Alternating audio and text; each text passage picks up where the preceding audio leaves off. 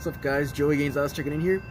Nutrition 101, if you want to make some gains, eat some natural organic turtle meat. Serve on a plate.